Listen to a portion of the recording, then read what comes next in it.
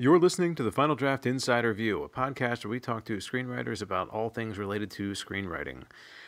I'm your host, Pete D'Alessandro, product manager here at Final Draft. Today, our guest is Noah Oppenheim. Credits include The Buried Life, Today, Hardball with Chris Matthews, The Maze Runner, and Allegiant. Noah, thank you so much for joining us. Thank you. And I know I want to get into your upcoming film, Jackie. Before we do that, I want to start out with how you got into writing because you you've had a career where you've kind of walked around through different parts of the business, and I'd like to hear what what landed you in writing. That's a very kind way to put it. Um, yeah, I've uh, I've stumbled blindly through life um, and and and worked worked a variety of jobs. Um, I've always I've always written. Um, you know, it's sort of always been my my passion. Um, you know, when I was younger, I, I wrote for newspapers and then for for television news broadcasts like Hardball. Um, and my enthusiasm for film was always just it was kind of always just a very personal thing. I just was always a movie buff. You know, would would go to the movies multiple times a week. Would go to the movies alone multiple times a week. Um, just was sort of my my escape um, and and and and my love. Um, and when I graduated from college. I went to work uh, for NBC News and, and, was there for for most of my 20s. Um, did a brief stint uh, producing some reality shows like The Buried Life, um, but thought you know as I kind of entered my early 30s, if I if I never took a shot at screenwriting, I thought I would always regret it because I loved to write and I loved films. Um, and so I just decided after uh, after wandering around, as you say, uh, to finally to finally try to have a go at it. Um, so I not not not to shamelessly plug your product, but I went out and bought Final Draft and uh, We're bought very a flattered. screenwriting book and got into it. Wow, cool. What was the beginning of that like? What what did you do first? Uh, well, a- actually, as is so often the weird rhythm of the film business, uh, Jackie, the the movie that's that's sort of out now, coming out now, was the first spec that I ever wrote uh, six Wow. years ago. So, um, I did Yeah. not know that. I did not realize Yeah. that. Yeah, it took uh, it took six years to uh, to finally come to fruition. Um, but it was it was the one that I'd kind of been carrying around in my head for for quite a while, and Wow. when I finally decided to to take the leap, um, it's the first first script I wrote. That's great because I mean, six years is a pretty good amount of time to take your tenth script to get made, and your first. I mean, that's that's a nice accomplishment.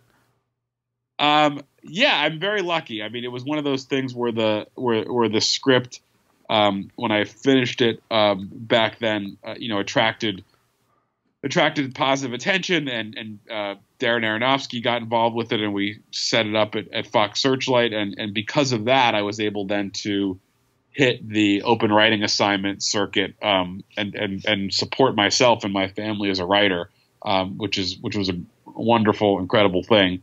Um, and so I took on various other projects over the ensuing years, um, and all the while hoping that that Jackie would finally uh, would finally come to fruition. Yeah. Um.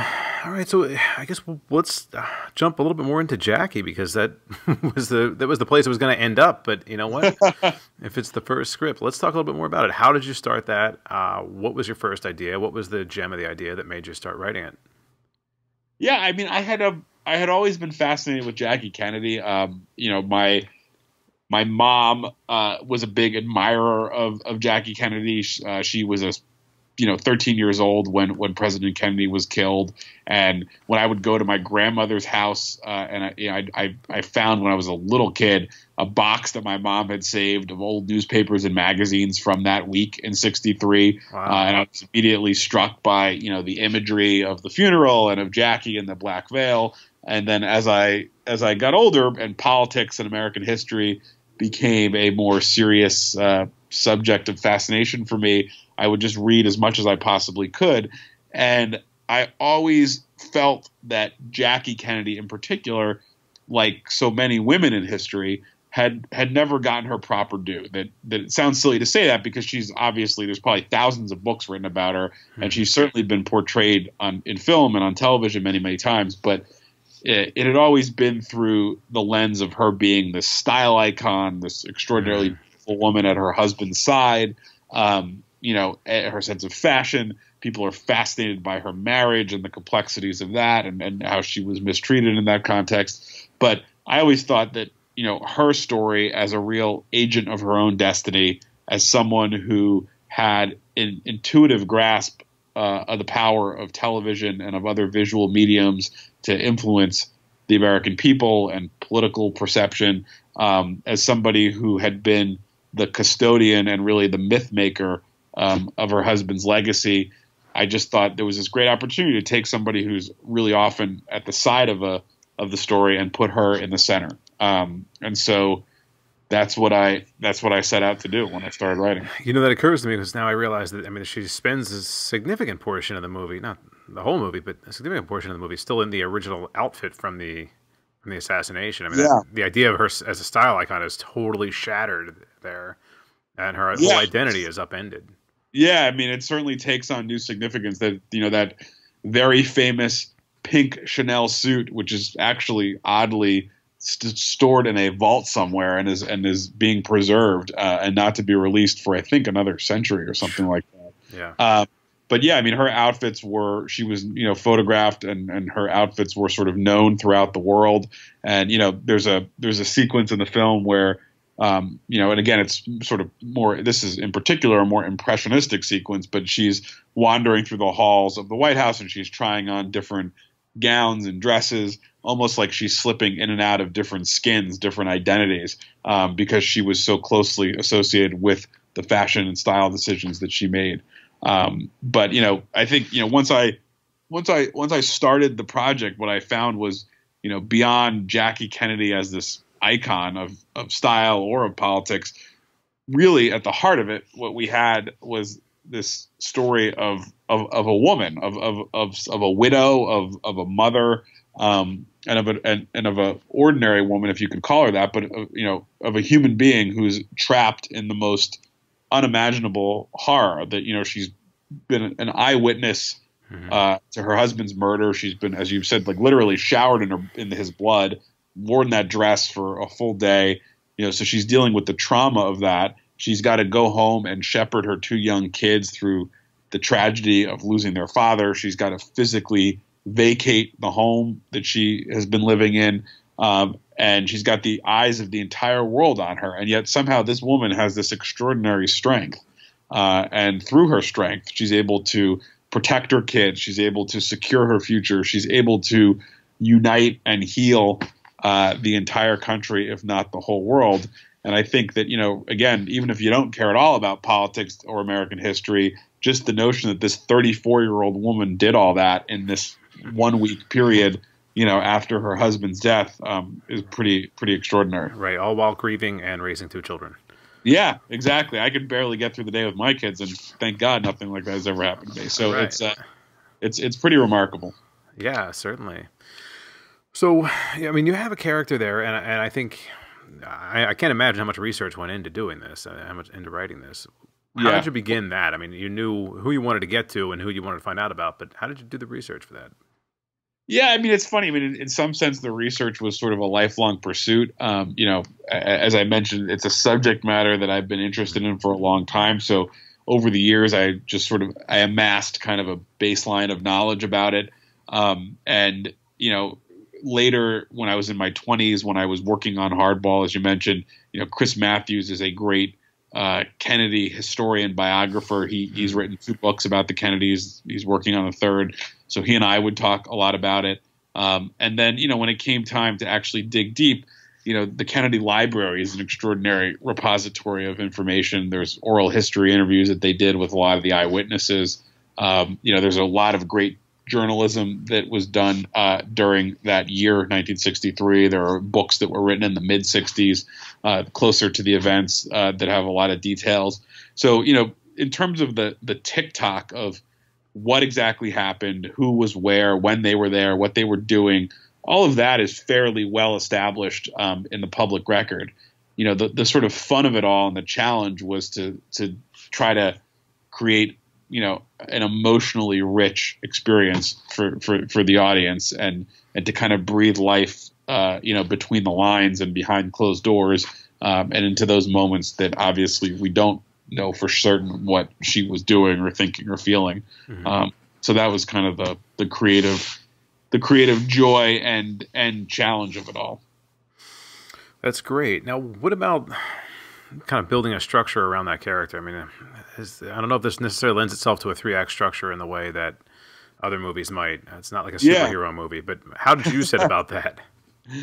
No, it's an interesting question because you know it's funny the the the film from its very earliest incarnations um, structurally had a few things that that that have you know that sort of lasted throughout the process of making it. You know, one was it was always built around this kind of framing device of her conversation with a journalist uh, that took place a week after the assassination, during which she invented the Camelot mythology. So you always kind of mm-hmm. had those scenes with her and a journalist um, in which she's she's doing that work of creating Camelot, and then bouncing back to the events immediately after the assassination, those four days where she's fighting to determine what the funeral will look like.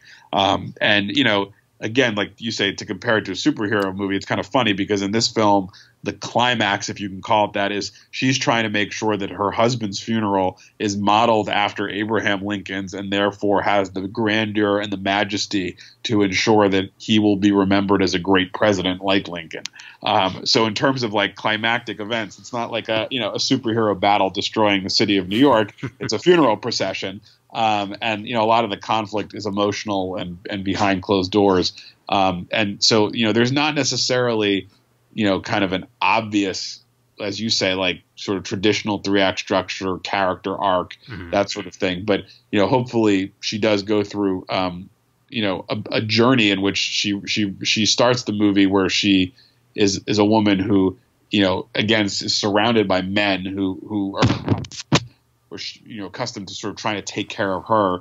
And by the end of the film she's taking care of all of them and exerting her power and her influence um, to, to, you know to, to, determine how this funeral is going to look to, to sort of dictate this article to this journalist and to arrive at some semblance of i mean i wouldn't call it closure but you know she goes through this conversation with this priest in which she's really grappling with her faith. And um, she certainly doesn't get any easy answers at the end of it but she's hopefully you know has a slightly clearer path forward when it's over. That does really bring me right to my next question because what do the other characters do to serve the story? Uh, how are they used? Because we, we don't have that arc. We don't have there's not a sidekick to this journey. It doesn't yeah. it doesn't work that way. Yeah. So how do those characters come to life and how do they how do they survive one draft to the next for you? Yeah, I mean, you know, each of the characters represent in some way or help draw out different sides of who Jackie was because most people, particularly public figures, have many sides to them and many faces that they present to the world depending on the circumstances.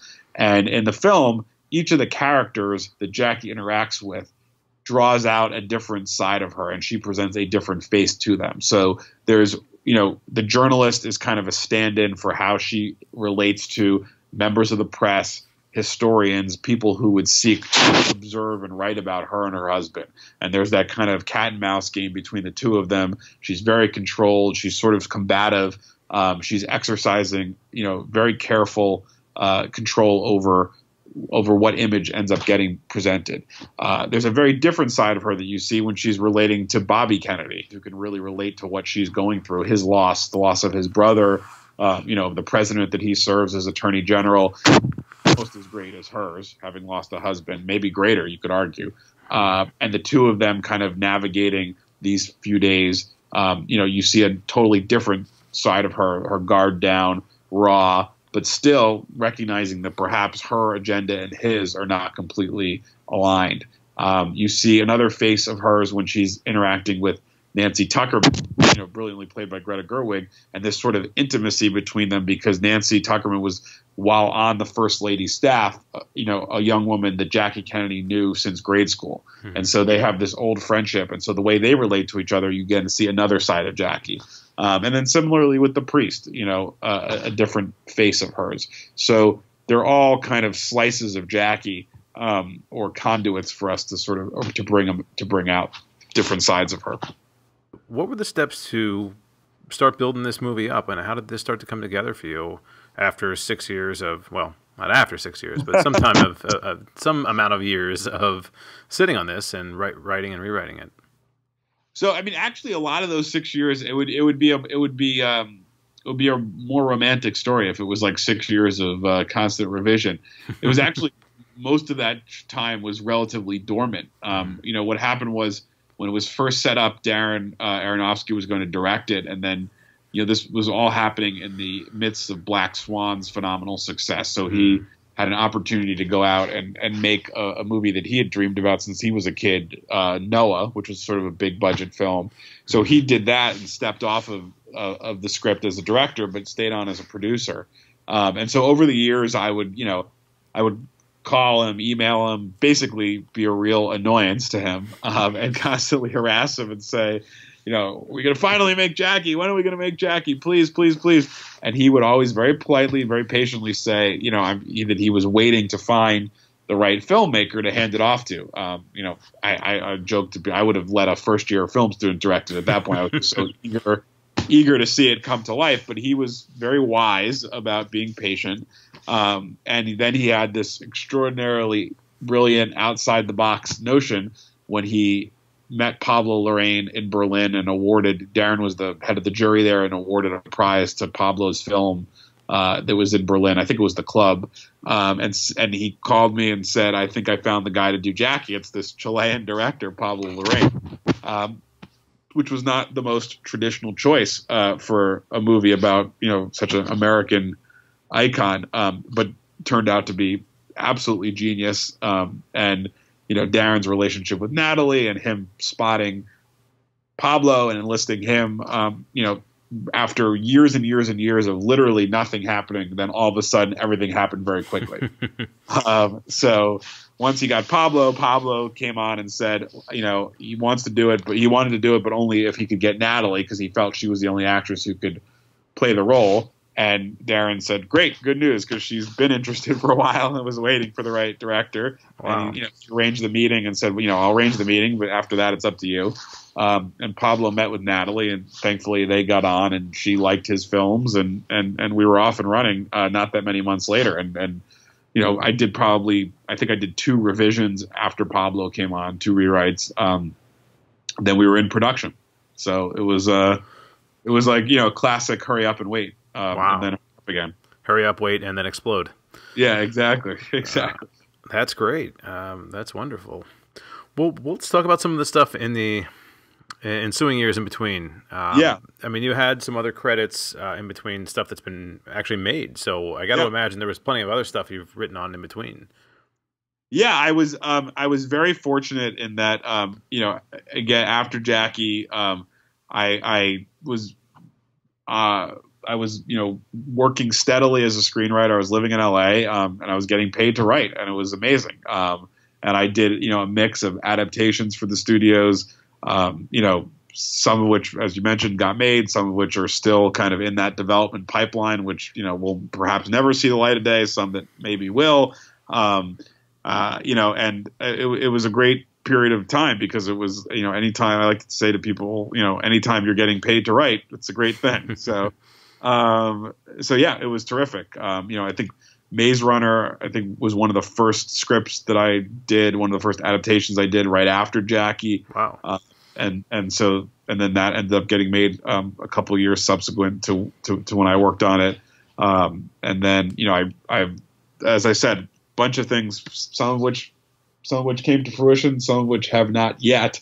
Although I will say, after this experience of the six-year wait on Jackie, I've learned to say never, ne- never say never uh, in the film business. But uh, but yeah, it was a it was a it was a good period of time. But you know, as I'm sure a lot of people, you know, it's it's that circuit and that rat race of pitching for assignments and you know bake offs with other writers. Hmm. Uh, you know, I set up some a couple original pitches during that period as well. Um, but you know, it's the life of a of a working screenwriter, which is which is a pretty good life as those things go. That's fantastic. What were some of the things you learned early on? I mean, you were transitioning from this one spec that obviously, you know, there's it got some attention, and then what what happens next as you start doing that, uh, you know, water bottle tour? Yeah, uh, what I learned is is that uh, never take anything for granted. that, that, that, even things that sound like or seem like they're a sure thing probably aren't. Um, I've learned that people are unfailingly polite uh, oftentimes to a fault. Mm. Uh, another buddy of mine who's a writer uh, said to me, and I'm sure he's not the inventor of the phrase, but you know, he said to me, uh, you know, the second best answer is no. Uh, you know, we obviously all want yes, but the second best answer is no, because the maybe is brutal. Mm. Uh, so there's a you know there's a lot of that I think because people don't want to be you know negative or rude or want to preserve a relationship.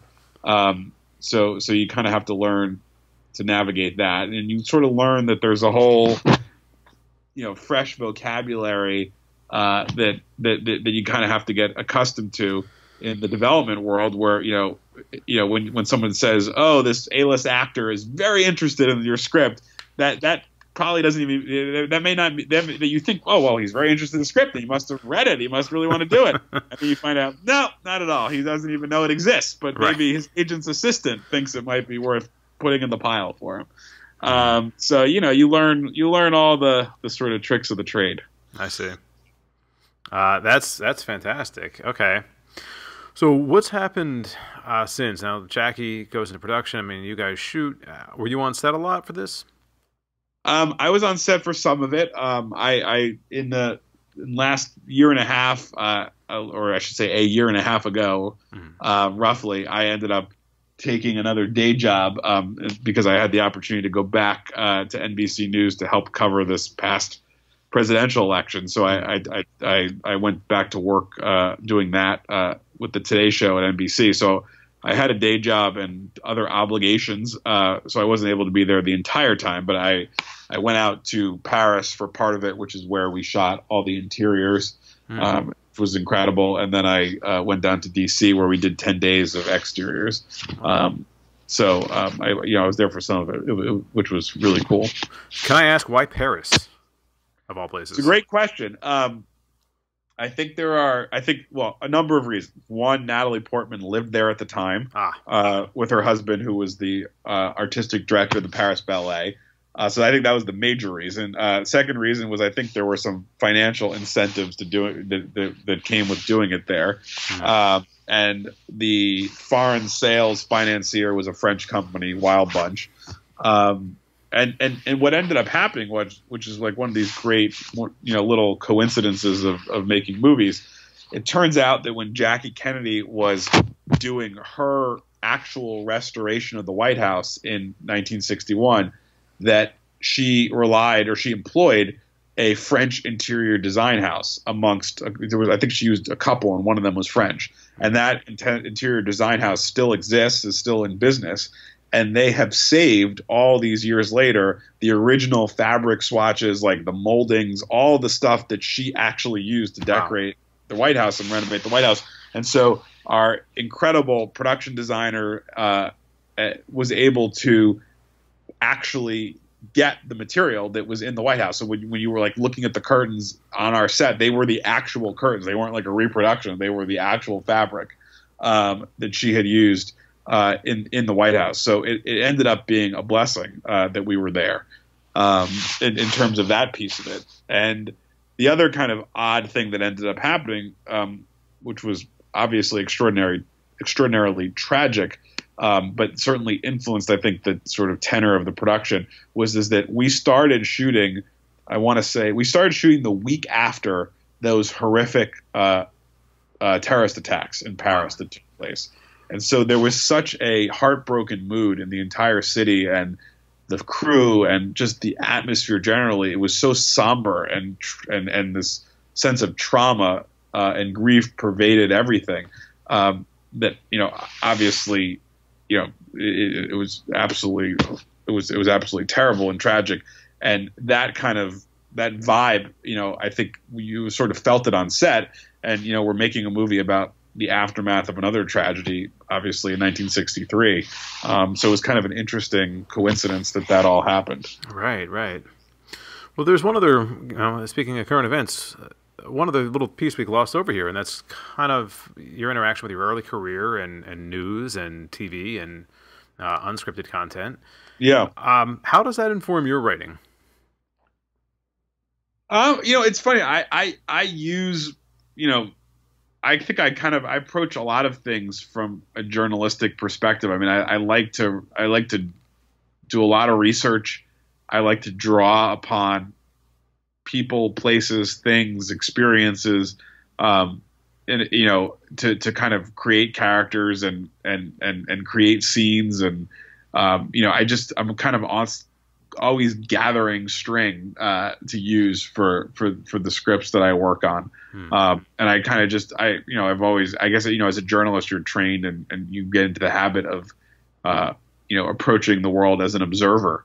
Um, and I think that that's you know that certainly helps me as a writer, um, and that you know it gives me a lot of the raw material I end up using. You think of an example, some of that raw material, something you've pulled from real life, something you've seen. um, yeah, I mean, you know, it's funny, like just I mean, just certain like you know certain personality quirks mm-hmm. uh, that that that you know you just you see offhand in somebody you know at a restaurant or in a meeting um, and then you can kind of write them into a character. Um, you know, another example would be, you know, I worked on this. I worked on a project for uh, Lionsgate Summit about uh, Houdini, um, and which you know that's one of those that's sort of in the development pipeline. Might might see life again. We'll see. But you know, before, you know, before I started writing, I spent I just dove into that world of, of magic and escape artistry and, and hung out with David Blaine and Copperfield and, you know, the Magic Castle in LA and just totally immersed myself to try to understand, you know, what that mindset is like.